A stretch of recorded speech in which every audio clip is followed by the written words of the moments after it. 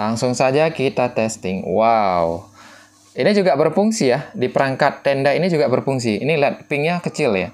Halo, balik lagi bersama kami di Modem Semirah. Kali ini kita bakalan mempelajari lagi cara menurunkan ping modem orbital Comcell menggunakan perangkat tenda ya. Nah, sebelum itu kita harus mengetahui terlebih dahulu ping itu apa sih? Nah, ping ini merupakan singkatan dari Packet Internet Network Grouper. Ya, secara sederhana, ping merupakan perintah untuk mengecek status dan keberadaan host dalam sebuah jaringan internet. Ya. Nah, sebagai contoh, kita menggunakan ping untuk mengecek apakah server dari website yang kita akses ini berjalan dengan baik atau tidak ya, seperti halnya di sini. Nah, kita sedang melakukan tes ping ke uh, DNS Google ya, seperti ini. Di sini kita bisa mengetahui bahwa ping uh, dari jaringan kita ini bagus atau tidak. Ya maka akan keluar status seperti ini. Maka semakin besar uh, nilai ping di bagian times, maka semakin jelek jaringannya. Maka semakin kecil nilai ping di bagian times, maka semakin bagus sebuah jaringan. Oke ya. Nah, di sini uh, kita bakalan optimalisasi modem orbital Telkomsel kita supaya bisa mendapatkan ping yang uh, bagus ya menggunakan perangkat tenda. Apakah menggunakan perangkat tenda ini bisa mengoptimalisasi jaringan dari modem orbit Telkomsel kita dan bisa mendapatkan uh, status ping yang lebih kecil ya. Karena kalau kalian langsung terhubung ke modem orbit Telkomsel uh, untuk pingnya bisa kalian lihat sendiri di sini ya. Cukup besar ya.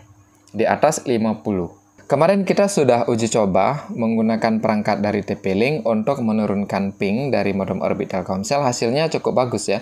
Kita bisa mendapatkan eh, lebih kurang ya di bawah 30 ya, 30 ms. Kalau ini kan besar ini.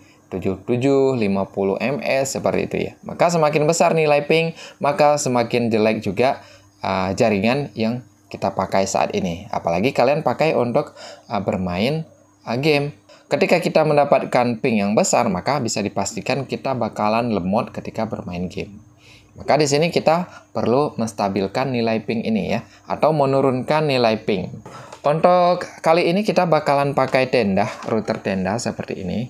Nah, di sini ada satu port ya, port 1. Jadi kita tinggal sambungkan modem orbit Telkomsel kita ke port 1. Jangan kalian masukkan ke sini. Ya, karena untuk 123 ini merupakan port untuk membagi koneksi. Kalau untuk sumber internet kita harus pakai yang WAN ya. Di sini ada tulisan WAN.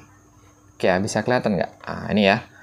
Port WAN. Ada tulisan WAN. Oke ya, pertama sekali di sini kita harus uh, mengembalikan pengaturan uh, tenda ini ke pengaturan awal. Kita reset aja ya. Kita reset dulu seperti ini supaya uh, tidak terjadi bentrok konfigurasi dengan yang kita inginkan saat ini. Nah, ini kita tinggal reset dulu. Oke, sudah berhasil reset. Ya. Sudah berhasil kita reset, selanjutnya yang perlu kita lakukan yaitu mencari DNS yang paling baik ya atau yang paling bagus yang bisa kita pakai saat ini di modem orbit Telkomsel. Seperti biasa, untuk melakukan pencarian DNS terbaik, kita akan menggunakan aplikasi Net Optimizer. Oke ya. Nah, di sini kita tinggal buka Net Optimizer atau kalian juga bisa cari di Google ya DNS yang pingnya kecil. Nah, kemudian di sini kita masuk ke menu ini. Ya, menu yang ada tanda jari seperti ini ya, yang tunjuk seperti ini. Oke ya. Nah, setelah kita masuk ke sini, Selanjutnya kita tinggal scan ya. Kita melakukan scanning DNS yang pingnya paling rendah itu yang kita ambil. Nah, kita jalankan scanningnya. Kita tunggu saja aplikasi ini melakukan scanning ya, sehingga nanti akan ditampilkan uh, DNS terbaik yang bisa kita pakai ya untuk mengoptimalkan jaringan dari modem orbit Telkomsel kita ini. Oke, ini yang paling kecil pingnya di 48 ya, dari quad 9. Kemudian disusul oleh si Google, kemudian ada juga OpenDNS Home di 49. Nah, yang lain besar ya. Nah, ini semakin besar nilai ping ini semakin jelek. Itu kalian jangan pakai. Kalau kalian pakai ya sudah, kalian tidak bisa bermain game dengan lancar seperti itu ya. Nah, di sini kita coba ambil uh, DNS dari Google ya, karena di sini pingnya bagus lah. Satu dua ini dalam kondisi berwarna hijau seperti ini. Kita ambil yang Google atau Quad. Oke Oke ya. Kalau kita hitung berdasarkan peringkat, jadi jatuhnya ke kuat. Jadi kita bakal ambil yang 9.9.9.9. Nah, seperti ini ya. Artinya kita sudah mendapatkan dua DNS terbaik yang bisa kita pakai untuk melakukan optimalisasi uh, dari modem Orbit Telkomsel kita. Nah, selanjutnya kita tinggal akses saja ke si uh, ini router tenda ini yang barusan kita reset. Ya. Kita akses ke sini. Ini kita masih tersambung ke modem SIM merah. Ini modem SIM merah yang ini ya. Karena SSID-nya sudah kita ganti ya. Nah, sebenarnya ini modem Orbit Telkomsel. Nah, kita sambung dulu ke si tenda ya. Apakah si tenda ini bisa kita gunakan untuk menstabilkan jaringan dari modem Orbit Telkomsel atau tidak ya? Nah, di sini sudah tersambung dan saya bakalan pakai uh, Google Chrome untuk mengakses ke sistem sini. Oke, langsung terbuka. Mantap kali ini.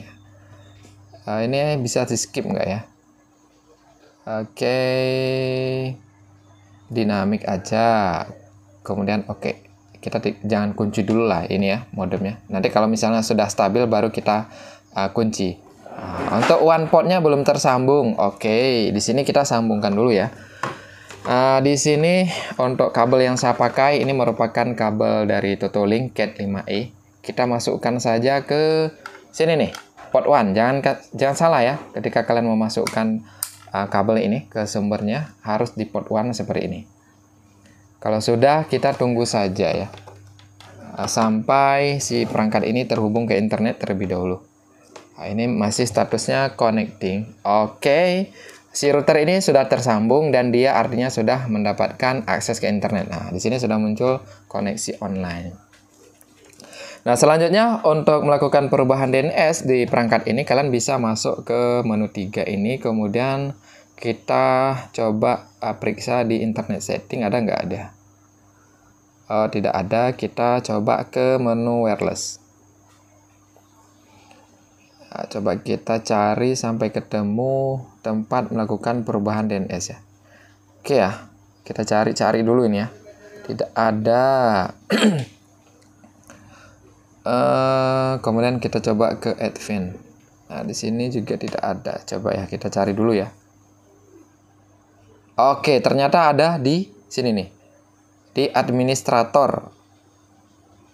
Nah, one-nya sudah ada. Nah, di sini.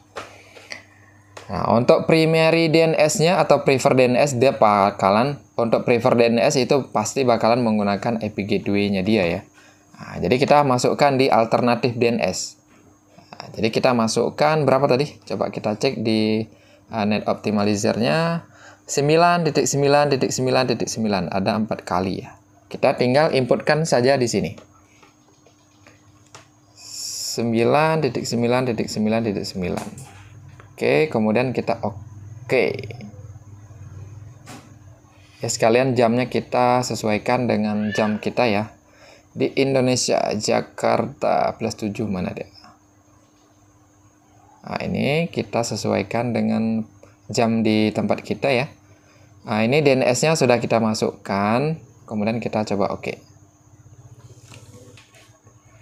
Oke, sudah berhasil terganti dan sekarang saya bakalan uh, lakukan restart ya. Restart dari modem ini. Kita reboot aja. Supaya dia uh, menerapkan DNS yang sudah kita berikan barusan.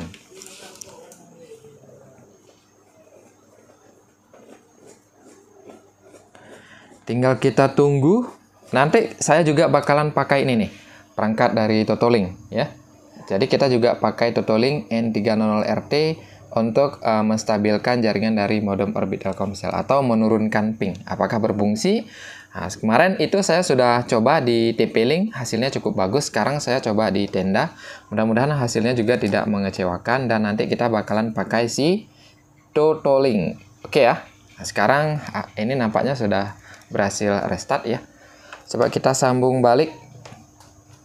Apakah dia otomatis atau tidak ya? Kita sambung balik. Oh, dia balik ke modem si merah.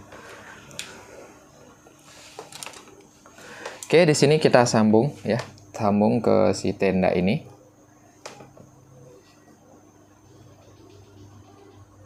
Oke, sudah tersambung. Mantap ya. Semuanya sudah kita dapatkan. IP juga sudah. Tetapi jeleknya karena saya menggunakan perangkat lama, dia nggak kelihatan di sini DNS-nya. Kalau HP-HP canggih sekarang itu kelihatan ya. Nanti kita coba di HP ini ya, kelihatan nggak DNS-nya. Kalau HP yang saya rekam ini, uh, Android-nya udah lumayan tinggi ya. Oke, tidak masalah. Artinya kita sudah pasangkan DNS-nya. Coba kita cek sekali lagi di sini. Eh, terhapus atau tidak ya mudah-mudahan janganlah masih oke DNS-nya masih ada ya 999 sekarang kita bakalan lakukan testing Oke, uh, ini DNS-nya masih 99 dan kita bakalan pakai aplikasi Tesping ya. Nah, untuk kalian yang menanyakan saya pakai aplikasi apa ini? Nama aplikasinya Ping ya. Kita tinggal buka aja seperti ini. Oke, kita coba ping ke uh, eh, DNS dari uh, Google ya. Coba kita start. Ini sebelumnya seperti ini ya, cukup besar ya. Sekarang setelah kita ganti DNS-nya dengan ini ya, DNS yang uh, tadi itu di kuat. Ini juga masih ada dan sekarang kita cek pingnya. Langsung saja kita testing. Wow. Ini juga berfungsi ya, di perangkat tenda ini juga berfungsi. Ini lihat pingnya kecil ya. Ya, sebelumnya 100, 50 ke atas, 70. Ini kita bisa memperkecil ping ya. 34. Nah, ini bahkan lebih kecil, 28, 30, 37. Wow, ini cukup bagus ya. Jadi perangkat tenda ini juga berfungsi ya untuk menurunkan ping dari modem orbit Telkomsel kita. Nah, seperti yang kalian lihat ya. Ini coba saya zoom ya. Kelihatan nggak nih? Nah, di times ini 27, 37. Ini juga kecil ya. Nah, ini juga kecil. Ini juga sangat kecil ya, menggunakan perangkat dari si tenda. Artinya, kita bisa pakai juga uh, perangkat tenda atau router tenda ini untuk memperkecil ping dari modem orbit Telkomsel. Kemudian nanti kita coba lihat di Tutulink, apakah juga uh, bagus untuk menurunkan ping dari modem orbit Telkomsel. Nah, sekian dulu ya, semoga terbantu dan sampai jumpa di video berikutnya.